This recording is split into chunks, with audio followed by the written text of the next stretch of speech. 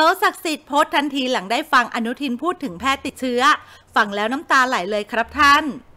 ในสถานการณ์วิกฤตไวรัสโควิด -19 ครั้งนี้ทำให้ประชาชนเริ่มวิตกกังวลกันมากขึ้นเรื่อยๆ หลายคนเริ่มออกมากักตุนสินค้าเพื่อไว้ใช้ในยามวิกฤต พร้อมทั้งทางรัฐบาลยังขอความร่วมมือกับประชาชนให้เฝ้าระวังตัวเอง และอยู่ภายในบ้าน และมีอาการสุ่มเสี่ยงเหมือนจะเป็นโควิด -19 ให้โทรแจ้งเจ้าหน้าที่ทันที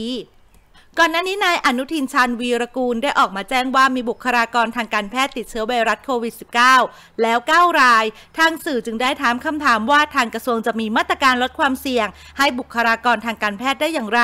ซึ่งทางนายอนุทินได้ตอบว่า พวกเราไม่พอใจนะครับสำหรับบุคลากรทางการแพทย์ที่ไม่ระวังตัวเอง เราต้องเป็นบุคคลตัวอย่าง เราจะต้อง alert ตัวเองตลอดเวลา เซฟตัวเองให้มากที่สุด ขอให้บรรดาแพทย์พยาบาลเจ้าหน้าที่ทุกคนดูแลตัวเองให้ดี หลังจากนั้นทางหนุ่มโต๋ศักดิ์สิทธิ์ที่ได้ฟังสัมภาษณ์ของนายอนุทิน ได้โพสต์ทวิตเตอร์ว่าฟังสัมภาษณ์ของท่านรอมตอแล้วน้ำตาไหลเลยครับ เปล่าซึ้งท่านนะ แต่สงสารและเคารพหัวใจของคุณหมอบุคลากรแพทย์ที่เอาตัวไปเสี่ยง